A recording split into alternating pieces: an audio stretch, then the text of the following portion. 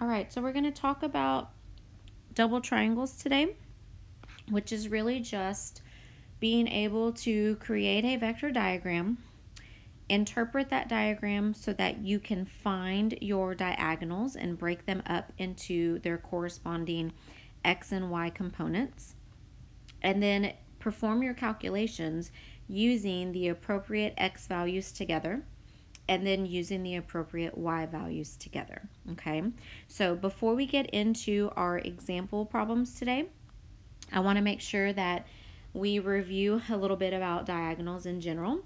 So when we're talking about diagonal lines, I want you to understand that all diagonals are accomplished because we have some vertical and horizontal um, motion or velocity or force, whatever our vector is there to represent.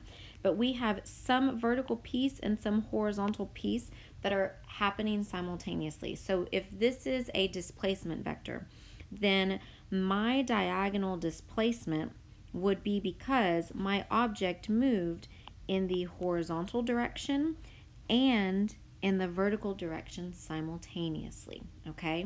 And so we're going to call this diagonal our resultant because it's our overall displacement if we started at this location and ended at that location, all right? now, if we were in a math class, we would probably see the labels A, B, and C. And so if we had two sides of our right triangle, then we would simply use Pythagorean theorem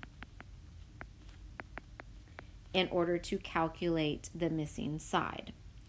If we are discussing our vectors in this class and we are going to separate any diagonal vectors that we may have into its corresponding horizontal and velocity uh, vertical components, then it's important that we understand what that means, okay? So the word component is just a term that means part, portion, all right? So this diagonal line has some portion or some part of that line that is in the horizontal direction. So we might refer to that as the horizontal component. the vertical part would be referred to as the um, vertical component or the y component. So if we are trying to write our Pythagorean theorem so that it is specific to the vertical and horizontal directions that we will be interpreting in our readings, we may choose to rewrite our equation like this. Now you are free to write it either way. Um, when I'm grading written work, whether you write it as a squared equals b squared, a squared plus b squared equals c squared, or x squared plus y squared equals r squared, both of those formats are going to give you full credit. I just simply need you to clearly illustrate that you are using Pythagorean theorem. As I work through the example problems today, I am going to be choosing to use the x and y version because I'm going to be um, discussing, evaluating, analyzing um, all of my vectors as either being vertical or horizontal. So I'm going to choose to use that version today just so that hopefully it makes it easier to identify where all the parts came from. All right, so here's our first example.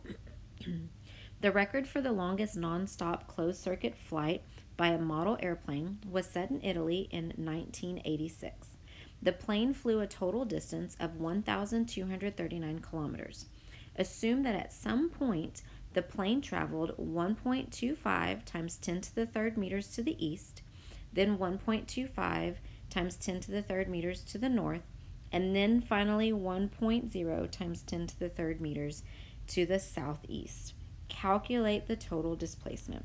So I will choose to use different colors for our different vectors. Again, the idea here is to make it so that you guys can understand well where all the parts for my math work are coming from.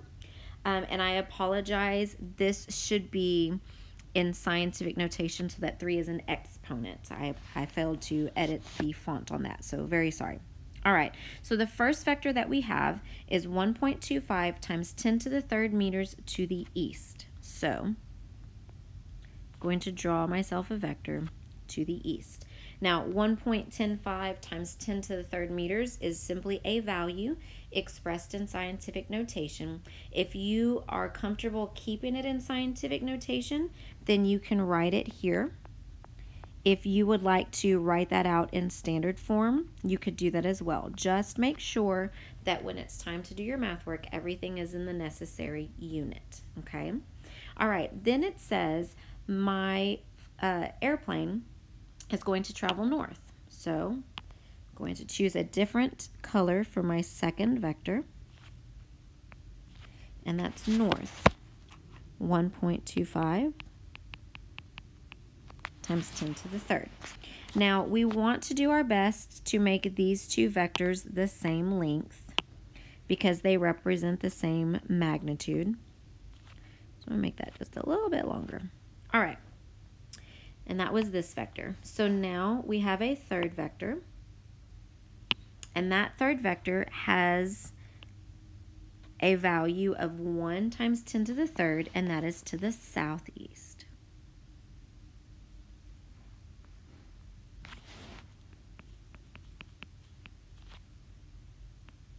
Okay, calculate the displacement. So for this calculation, I need to figure out where is my displacement vector so that I can then determine its value.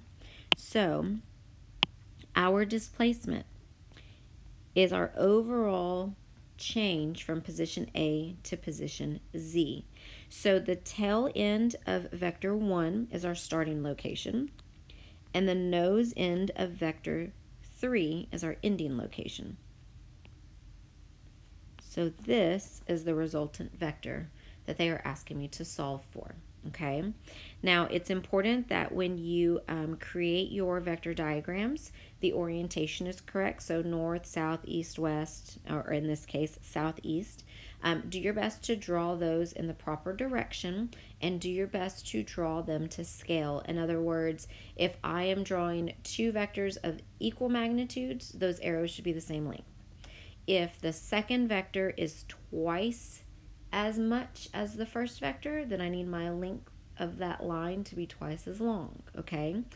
Failure to create your vector diagram proportionally can absolutely create issues with interpreting the question correctly, and you may end up doing incorrect math work because your vector diagram does not properly illustrate the shape or the segment or the lengths that you need to be using. All right. Okay, so I want to take a moment now and let's make sure that we go back to this idea that all diagonals can and should be broken up into their components. Every diagonal is the combination of vertical and horizontal. So in this illustration, my resultant value is some amount of horizontal motion combined with some amount of vertical motion. And you can see right here, I have a right angle between the two. So I will be working with a right triangle. Now you are going to need to determine how am I supposed to know, calculate, or determine the value for the x side of my um, resultant that I'm solving for. How am I supposed to determine the y side? So that's what we're going to talk about. This horizontal length is going to be the total length that I will need for the x value of the displacement that I'm being asked to solve for. Now, how long is that? Well, if we look at our picture, it's all of vector 1, which I drew in blue, and then it is the same as the horizontal part of vector 3. So in order to calculate my total displacement in the horizontal direction, I'm simply going to add the horizontal part of vector 1 with the horizontal part of vector 3. In order for me to determine how tall my y component needs to be for my resultant. I need to say that it is vector 2 in its entirety, which is oriented north, and then it would be vector 3 its vertical component, but notice that vector 3 is going to be in the downward or negative direction. This vector is southeast. So if I'm looking at a compass, there's south, there's east. It's diagonally exactly half south, half east, right? So that means its components would be oriented south and oriented east. So this vertical value um, is basically canceling out some of vector 2. So when we go to do our math work here, we're still going to, oops, we're still going to need to um, add up our vectors like we've done with the others. So it's going to be y of vector 2 plus y of vector 3. But in this particular case, vector 3 is in the negative direction. To the left or west is negative. So make sure that you make that a negative value when you go to uh, calculate your total vertical displacement. Okay, so now let's talk about how am I supposed to come up with these numbers? Well, vector 1 is just all horizontal, so I'm just going to take that at face value. Vector 2 is all vertical, I'm just going to take that at face value. Vector 3, however, has to be broken up into its pieces so that I can determine those values. So 1 times 10 to the third is just the number 1,000. So I'm going to choose to write it out in standard form now. You can keep it in scientific notation if you'd like. So we've already talked about this is going to be the horizontal piece. This is going to be the vertical piece. And if we think back to the little compass that I gave us, um, we said that we were perfectly halfway between the two. Now that's important information because if I look at my triangle right now for vector 3, I know where my right angle is located, but I do not currently know the values of either of the other two angles. And in this case, I do not have enough information right now to answer this question as is. You have to have at least two parts of your triangle in order to solve for any additional piece. So right now I only have one part. I only have my hypotenuse. So I either need one of the other two sides or I need one of the angles. So I obviously know the right angle, but that's not going to be used in my trig work. Instead, what I'm going to do is I'm going to think back to the meaning of having a vector that is southeast.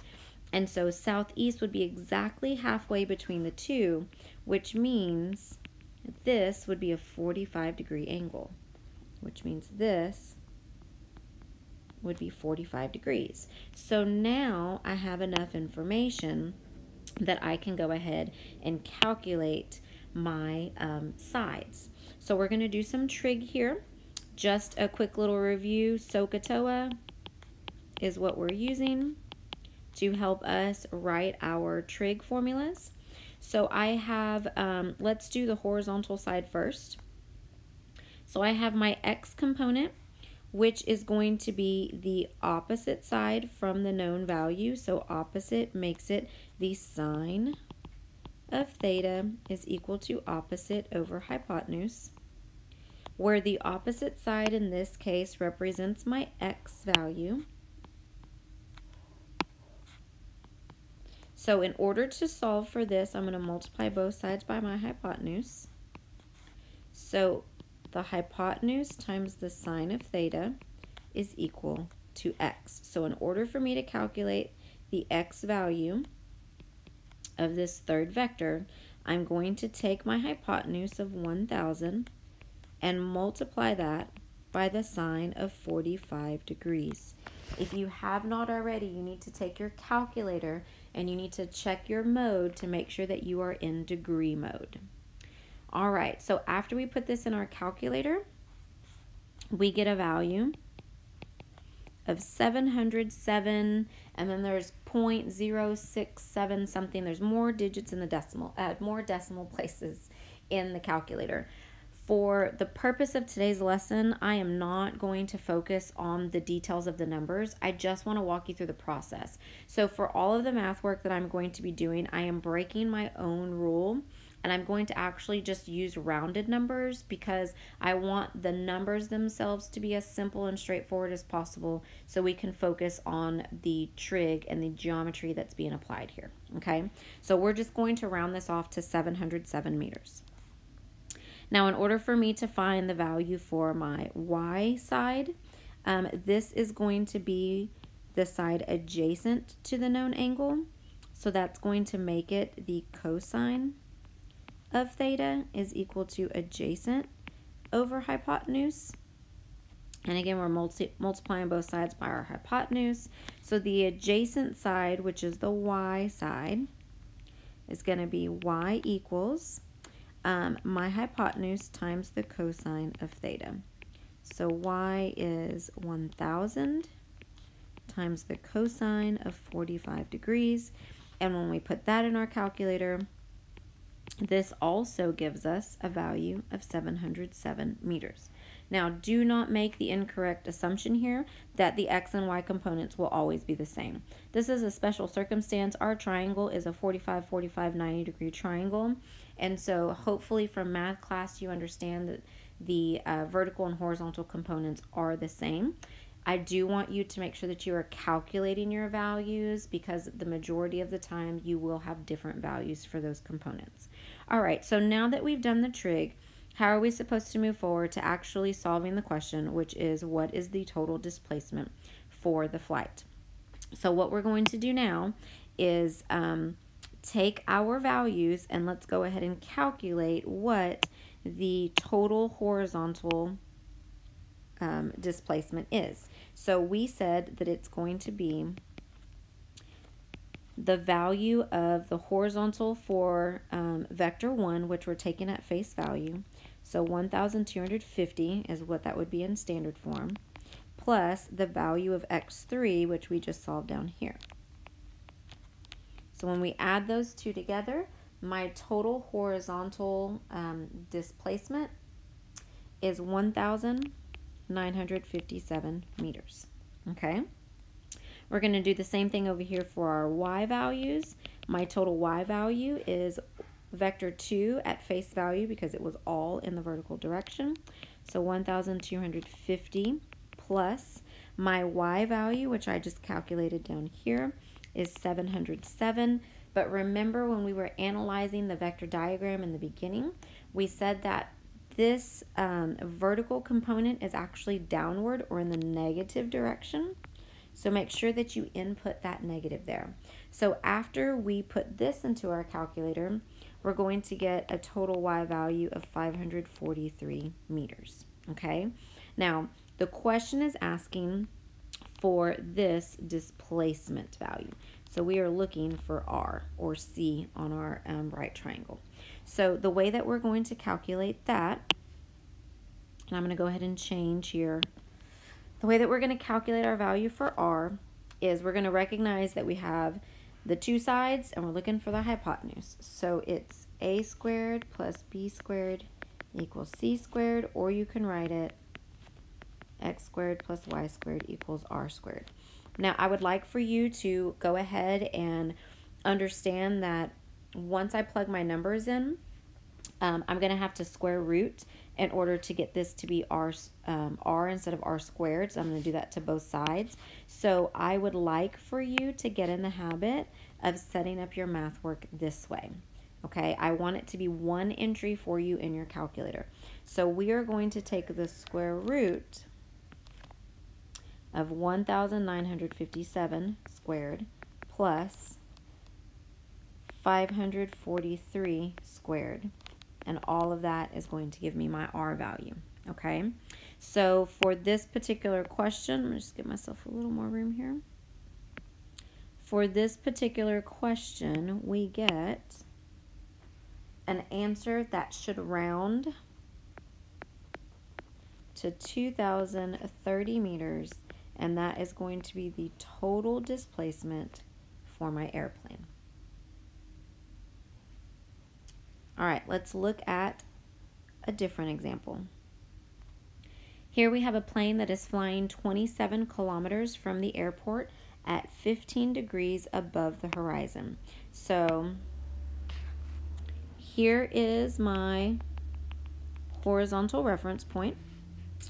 And from here, it's an angle of 15 degrees. Okay, and this is a distance of 27 kilometers.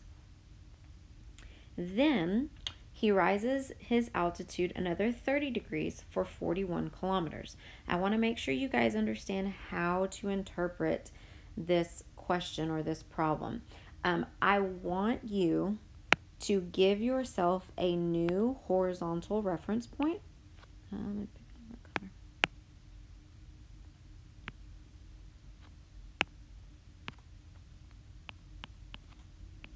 and then from here, we're going to give ourselves an angle of 30 degrees. Okay, this is how I want you to interpret this information. Okay, so then um, this was a distance of 41 kilometers. So notice I made my vector a little bit longer. Find the plane's total horizontal displacement, total gain in altitude, and its resultant displacement. In other words, we're going to find the resultant and we're going to find the x and y values of that resultant. And all three of those are going to be official answers. Okay? So, um, where is our resultant? Here's where we started. Here's where we ended. Sometimes these pictures get a little crowded, so just do your best. Um, I would recommend using a straight edge, if possible, to help you draw that line. it's not very straight, does it? Okay, so when we look at our diagram, this is the resultant that I'm being asked to solve for. It is absolutely a diagonal, so I'm going to need um, to make sure that I break it up into my parts, okay? I have the horizontal axis here, which is going to be composed of the horizontal piece of my first vector and the horizontal piece of my second vector. So I'm going to add those two up in order to find my total horizontal displacement. The vertical side of my diagonal is going to work in exactly the same way. It's going to be a portion of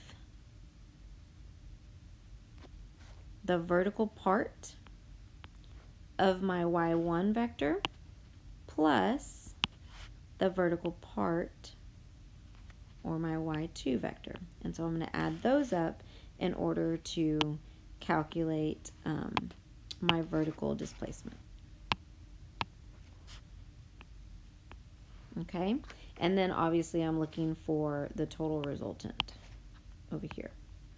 Okay, so this is our diagram of what we are analyzing. Let's go ahead and get to it and let's work on this trig. Um, if I can, I'm going to, hmm, can I make this smaller? Yes, yes I can. All right, so um, we are going to go ahead and get started by calculating for vector 1. Vector 1, I have 27 kilometers. Remember that your units must be in meters, seconds, uh, meters per second, okay? Meters per second squared, that's what we're working in. So this first vector would be 27,000 meters. Must be converted into meters. Here's my x component, here's my y component, and this angle is 15 degrees. So in order to calculate my um, sides, I need to do some trig here. So first I'm going to calculate the value for x1. So this is the side adjacent to the known angle. So cosine of theta is equal to x over h. So x is equal to h times the cosine of theta. And so we're going to calculate that by saying 27,000 times the cosine of 15 degrees. And that's going to give us 26,079. But again, for explanation purposes, I am going to choose to just round this off so that we can focus on the process and not get caught up or lost in all of the digits. So 26,000 is the value we will use here, okay? To solve for the um, y-axis, I'm going to use the side opposite the known value. So sine of theta is equal to that opposite side over my hypotenuse. So y is h times the sine of theta.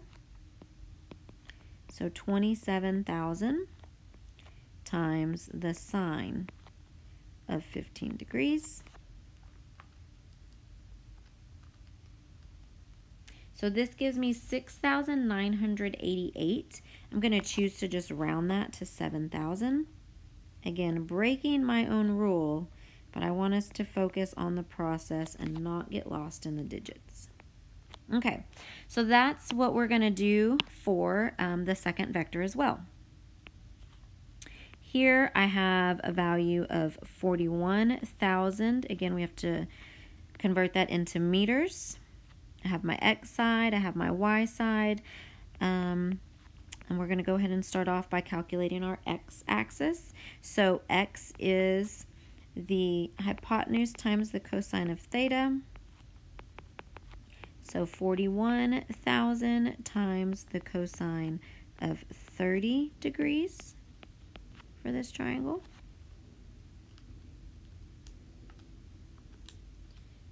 That gives me a value of 3,507, which we're going to round to um, 36,000. And then our y side, once again, is the opposite for this triangle. So it's going to be times the sine of theta. So 41,000 times the sine of 30 degrees. And that is going to give me 20,500.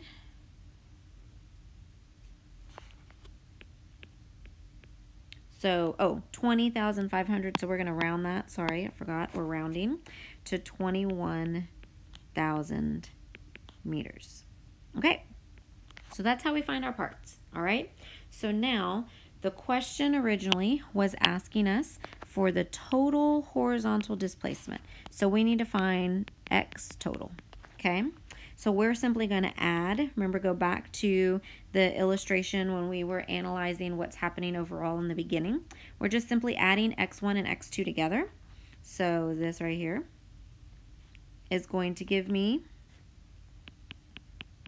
my total, which is 62,000.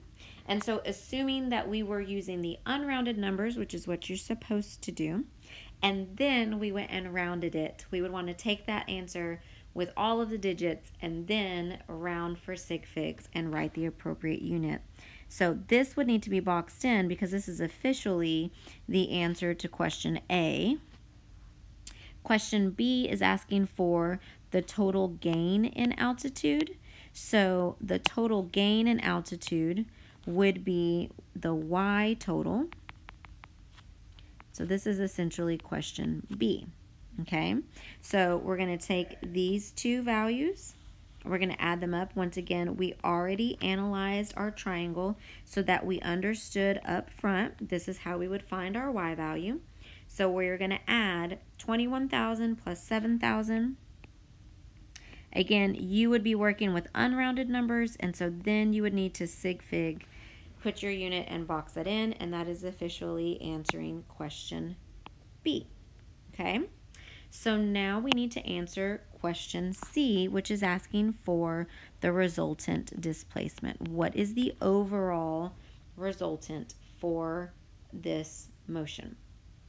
So now we're going to take our big triangle and I'm going to go ahead and choose one additional color here just so that we can follow how this all comes together. So this is my diagonal. So Pythagorean theorem or Pythagorean theorem. and then once again, I am going to need to square root in order to solve for that hypotenuse. So my R value is going to be the square root. And then here, I would want to use my unrounded number. So if I had calculated this with actual specific digits, right, with kept my precision, and I had like 62059.7321, I would want all of this to go into my calculation here. Okay, now if your calculator will allow you to go and capture previously worked problems, then now would be the time that you would want to go up, highlight that, and input it. If your calculator does not give you that ability, my per mine personally does not, then I have to rely on whatever I've written down on my paper. So, especially when you can see ahead of time that this is going to be one of those problems where you're carrying numbers over, I would recommend that you jot down several digits so that if you had to manually retype it, you could. Okay. For the purpose of today's example, um, I only have the unrounded, I'm sorry, the rounded answer to go by. But again, normally we would want to um, use the unrounded answers from our calculator. All right, so when we type this in, and again, this should all be one entry in your calculator, please utilize that x squared button. Um, I don't want you messing with carets. I want you to use the uh, x squared button whenever you can. So ideally this is one entry for you and it gives you 68,029. So my total displacement that they are asking me for would be written rounded for sig figs as 68,000 meters. All right, this last example that we're going to look at is um, really more about understanding how to interpret this question. I'm not really going to go through all of the actual math with you. Um, here it says that we have a car and it drives 50 meters per second along the horizontal. They didn't tell me if he's going east or west, right or left, so I'm just going to choose a direction for myself. As long as it's horizontal, we're okay.